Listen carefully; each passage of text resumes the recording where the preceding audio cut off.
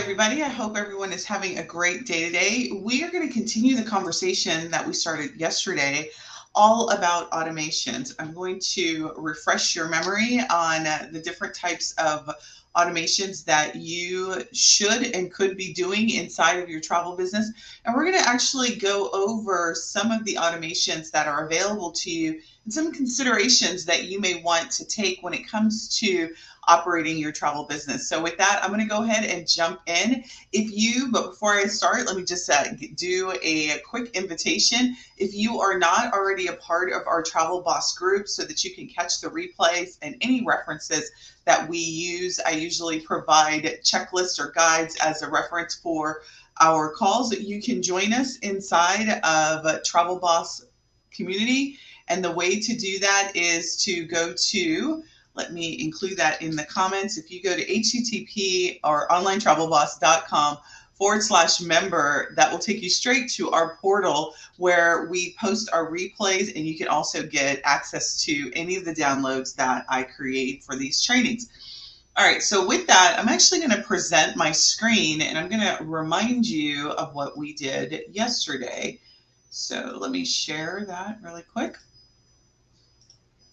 All right, so yesterday I went over a common list of tasks that you can automate in your travel business based on the repetitiveness of those tasks. And so what I want to do is actually we yesterday, so if you missed yesterday, you can check out my YouTube channel and take a look at. I taught you how to create a task automation. So First, always when designing your workflows or getting ready to implement a workflow, you want to sit down with a piece of paper and map out what you want to do. What are the goals of what your workflow are and map it out on paper. And so we did a simple test yesterday and we walked through how to create a task automation. So you let's say you wanted a reminder to go out to yourself or to your staff members to let them know that maybe a new travel request has been approved. And so we set that up. So check out that video that's going to be up on the right if you're watching in YouTube.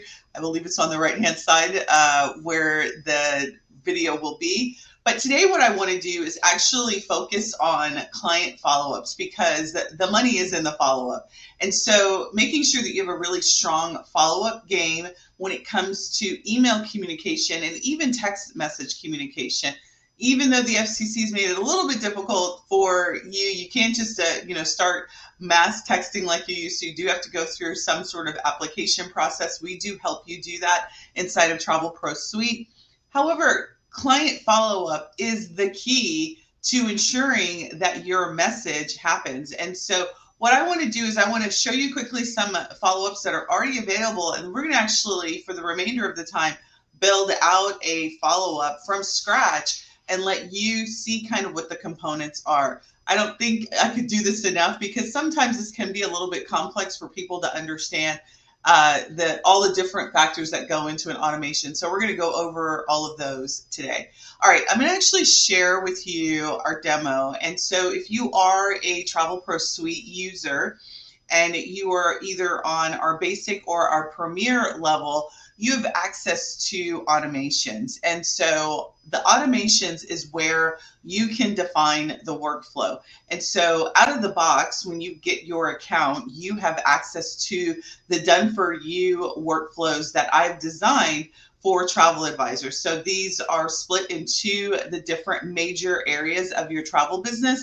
The request area, if you do group trips, that's under the presentation, payments, and client booking. What I'm going to do is actually kind of show you in the client booking workflow what we do. And one of the most common workflows that travel advisors have is the communication post the confirmation. So once someone has confirmed their booking or you've confirmed their booking, you've gotten the supplier confirmation numbers and you sent out that email, we already have out of the box, so to speak, confirmation emails that go out at different intervals. So we do a confirmation, we do a confirmation at the time that you update the confirmation field. Then we also do a 90 day check in, a 30 day check in, seven days, one day, and the day of and the day after. And so those are already done for you. And I'm just going to open up whichever one I can see first. I think uh, let's go and open up the 90 day. You do not have to do anything with these done for you automations. They're already designed for you.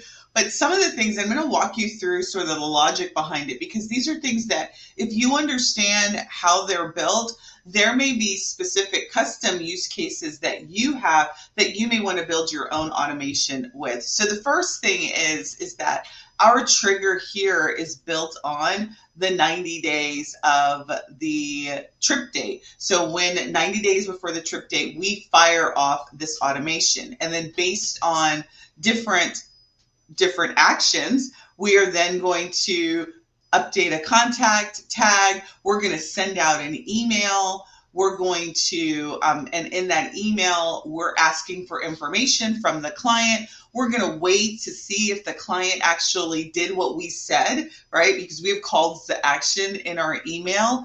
And so we will wait a week. If they haven't responded, we're going to send them another reminder. And this is the kind of thing that you may want to have in your automations as well remember, people are very busy. They get sidetracked. Maybe they open it and they don't start or whatever, and they don't get back to you. So, what you want to build, particularly when you are doing follow up, is a repetitiveness to the reminder. You don't want to just send one reminder, just like we don't just send one promotion. We send multiple promotions, we send multiple reminders. Typically, I design our workflows to be a three reminder series, and then I'm going to reach out to the travel advisor and say, hey, you need to do something. Maybe you need to reach out to the client. And that may be something that you want to think about as well when you're designing your own workflows is how many reminders do you want to send out to the person? And there really isn't any rule of thumb. I pick three because I'm thinking, okay, if I give you the initial email and then I wait a week and then I wait three days and you still haven't done the action, you're either not interested or I need to do something differently, right? Because doing the same thing over and over again doesn't necessarily get you a good result. So that's why we do three. And then on the fourth one, we're sending out something that's escalated, which is we'll probably pick up the phone and call the person, or maybe we send a text.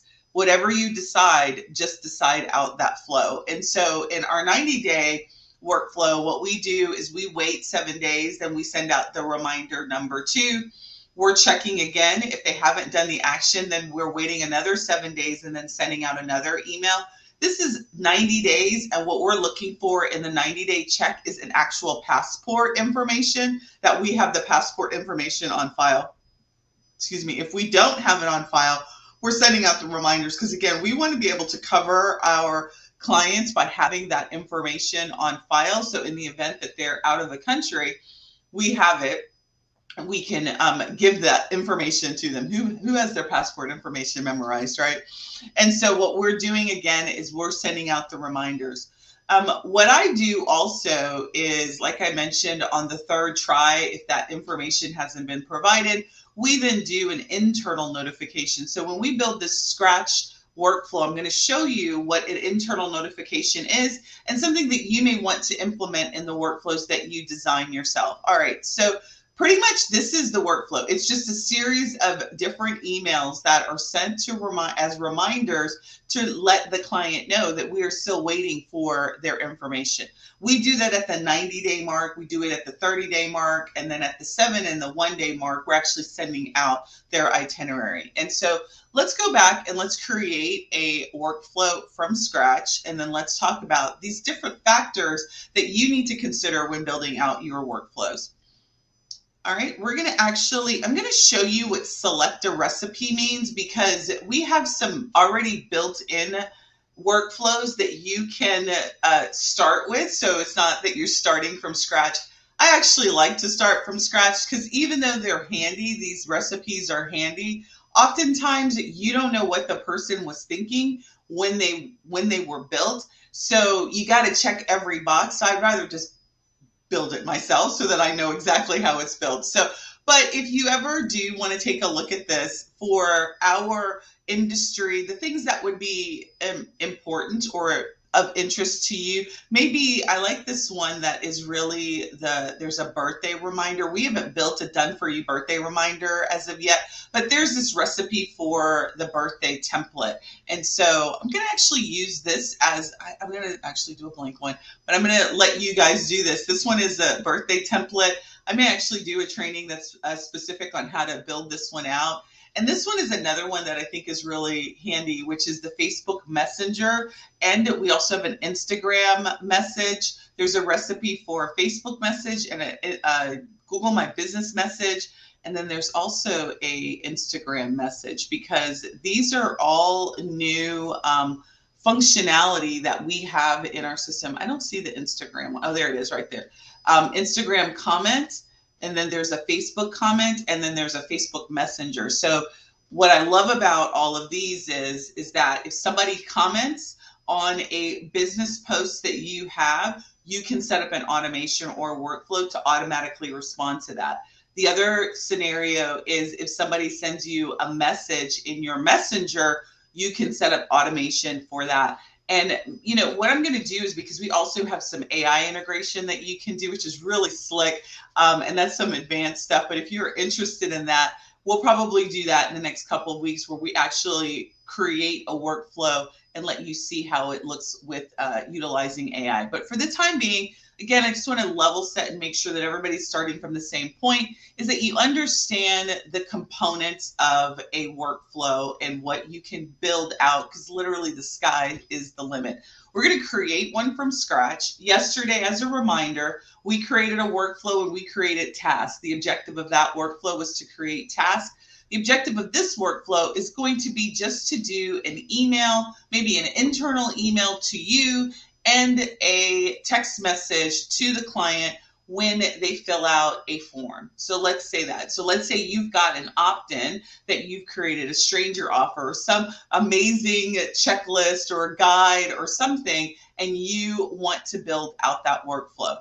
The first thing I always say when you're building out a workflow, start from the top and work your way down. First thing you want to do at the top is give it a name. What's the purpose of your workflow? So I'm going to say that this is a welcome welcome series, and I usually put the product. So let's say it's to my travel guide.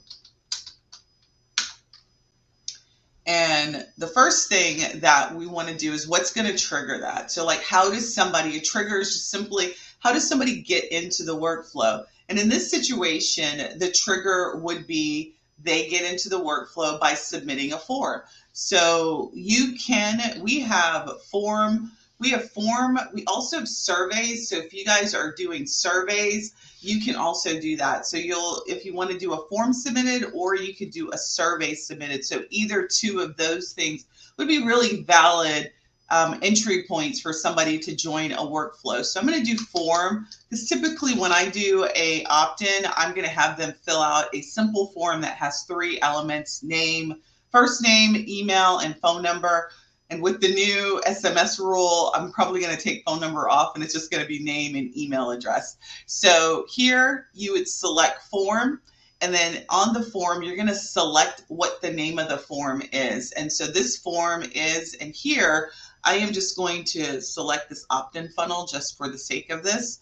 And then you save the trigger. Again, I like to name everything so that I can know what it is that I'm doing. So I'm going to just say name equals the form name equals travel guide.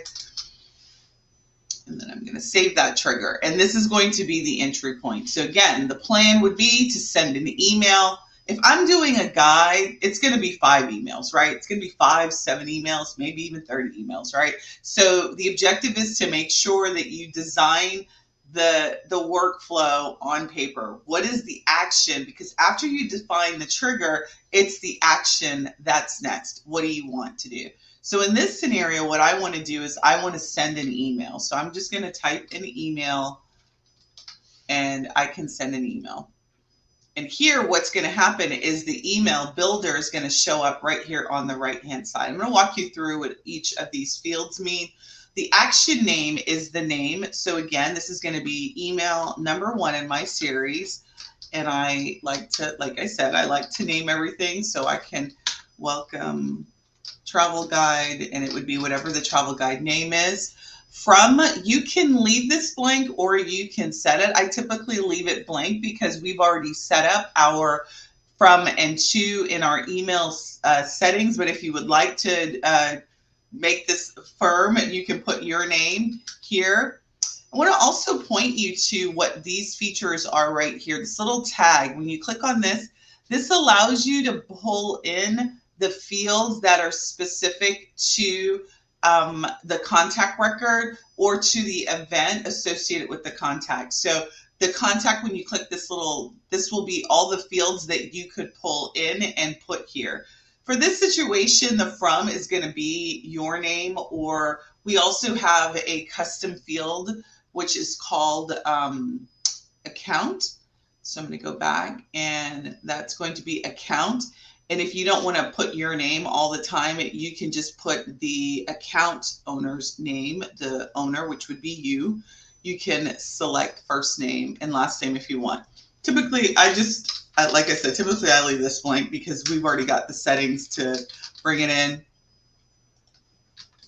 Make sure that the email address, if you do put an email address, that the email address is the same domain that we have set up in your account. So no at Gmail, no at Yahoo, no at, MSN. It should be your URL um, that is already set up in your account. So whatever your travel business name is, dot .com, .net, dot .org, whatever you've got, that should be the where the from email should be. The subject, you want to give your email a subject. And so, you know, I'm just going to call this test welcome email number one. And then here, what you can do is if you've got an email that is pretty regular, that you send this email out pretty consistently, you can create yourself a template and then pull in that template instead of building out the email here. So we have upwards of, I want to say we have over 50 email templates already. I, I don't remember the number, but we have a lot of email templates already available based on the workflow action. So you can absolutely utilize any one of those email templates. But for something like this, and you can see the email templates are going to be here in terms of what's available. But for this, we don't, this is just a, this is just a one-time um, example. So I don't have a template here. And then you can start to build out your email. So this whole idea of these custom fields or values that you can use even exist in your email builder. And so that value, when you click this little tag, it's going to build in, bring in all of the information that you can use to personalize your email. So the, the first thing that we want to do is personalize the salutation, right? So I want to say hi, first name. So contact dot first underscore name is going to bring in that contact's name. And then you're going to write the body of your email. Like I always say, I typically do not write and build at the same time. I usually will build it out, I will build it out on paper, then I'll get all of my email. Me and ChatGPT will be best friends.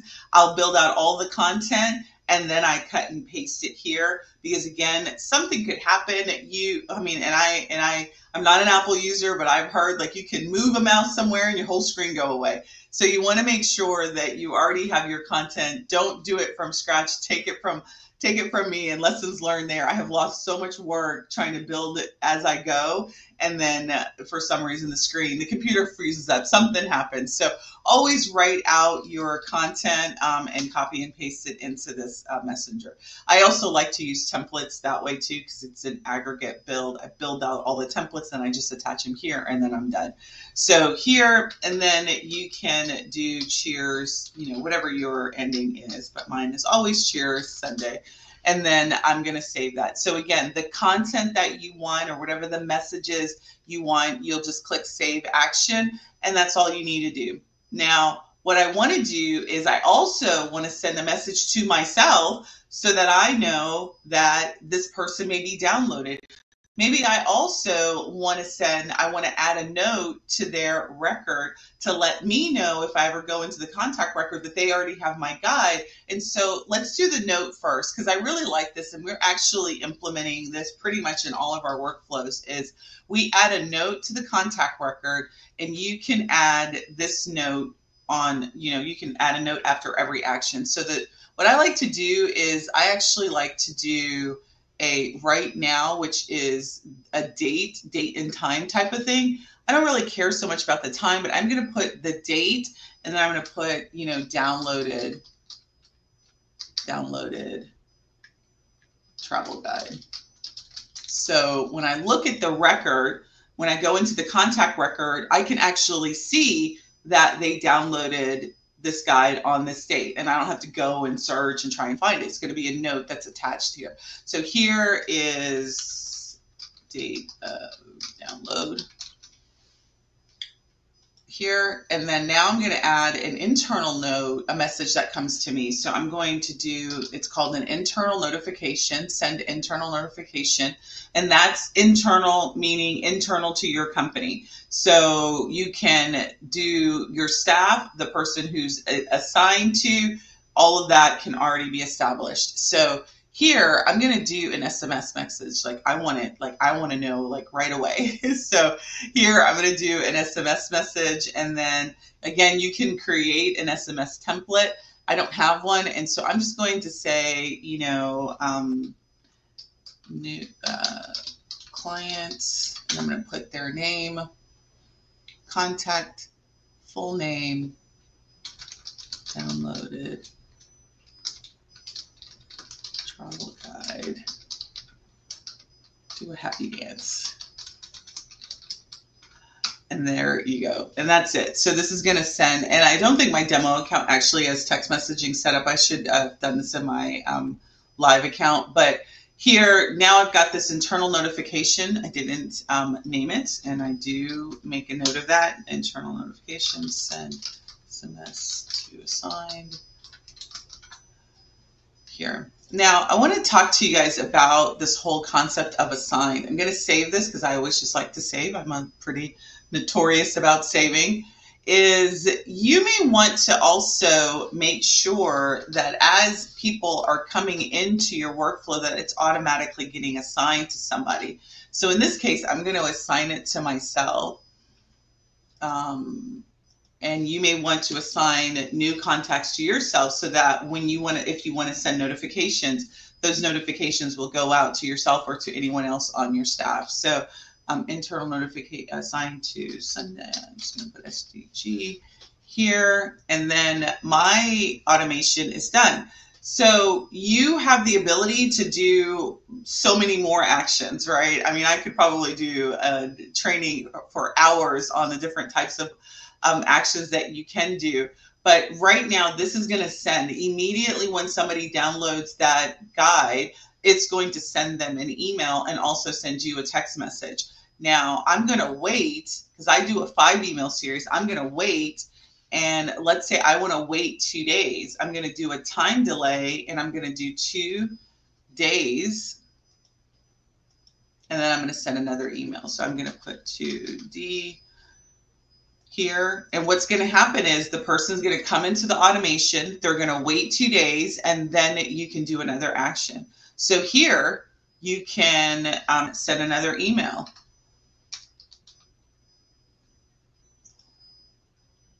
You can call that email number two. But what I like to, and then you'd set it up the same way. But what I like to do is if I'm building the emails here, instead of like doing the whole thing over, we have what's called a copy action. So you can just click on these three dots and then you can click copy and then copy this action, copy it where you want it. So I want to copy that same email that I'm going to edit it. This just saves me the time from having to actually build all of the emails set up the same way. So I like to just copy actions down. So here, I'm going to change this and I'm going to call this email number two. And then here, I'm going to call this test email number two. And obviously this would have specific content for that email. And you notice now here, I'm going to change the subject. So typically when I copy, you need to change three things. You need to change the action name, the subject, and then the content inside of the email. Then you click save. Always save your work as you go so you don't learn a hard lesson, but you save your work. And then after you save your work, before you want to, after you're done, so you're done, Like, so you can just continue this as long as you, as many emails as you have. Typically, we do five, so I would continue this until all five emails were set up, and then I would be done. But there's this one little additional feature that I want to um, express to you all that you can do to get somebody to come out of the automation. So, have you ever been, um, you know, in some, maybe you opted in, and really the goal of this guide, right? Because when you're building an email, there should be a goal, right? There should be a call to action. What is that? Is that to book an appointment? Is that to buy your trip? What is the goal? of the guide it's not just for them to get the guide right there's more there's more to that than this so whatever the goal is what you can do is establish that goal in your email series and then based on when the goal is achieved then the person will stop receiving your emails. I absolutely recommend that you do this because it doesn't make sense if they've already booked the appointment that they keep getting email three, four, five, six, and seven, right? You want to end them and move them out of the series and end it. So the way to do that is to establish a goal for your email series. And so this goal, we're going to call that a goal event. And then there's different factors that you can consider when building out your goal, but the factors that really that we do are tags is you can you can do received um, an email event. That means like if they opened or um, clicked on it. And these are good when you're doing reactivation emails. However the one that i would think for an email series like this would be a contact. And so here i'm going to i know we have this uh, download test guide as a so one not not download sorry. Let's say purchased or booked an appointment. Let's say we want when the person has booked a discovery call. So we have a tag called discovery call. I know how to spell. Booked a discovery call. So once that tag has occurred and somebody has booked a discovery call, a new tag is going to enter on that record and then they're going to stop getting these emails because ultimately the email content is going to say book a call book a call i want you to book a call so once they booked a call i don't need them to get the rest of my emails so that's what this goal will do. And so we're going to call this goal equals booked discovery call. And then we're going to save this. And this action here is end the workflow. This means it once this event happens, the person will come to the bottom of the workflow and it will end for them and they won't continue getting. So no matter where they are in the workflow, if they book a discovery call, you know, after email one, they won't get email two, three, four, and five. They'll just get that first email and then they'll immediately be moved to the bottom of the workflow. So I always want you to be thinking about when you're building out your workflows, what is the purpose? Because we have a purpose for everything that we do. What is the purpose of your particular um, workflow, your automation? What is it that you're trying to accomplish? And so, based on that, based on what you're trying to accomplish, make sure that you set a goal accordingly. All right, do not forget to hit publish and then save, and then you want to test. And so the thing that you can do to test is you can simply just add yourself, or you could fill out your form or do the event in test mode for whatever it is that you're doing so that you're you can test out your workflow. Listen, I hope that this is helpful. Automation can really be um, your best friend. It could um, really help you double the interaction that you have with your clients. It could um, improve your responses. It can improve your purchases. Automations really can be your best friend. And so knowing how to set them up is the key. And if you have any questions, you can join us inside of our office hours that are happening right now.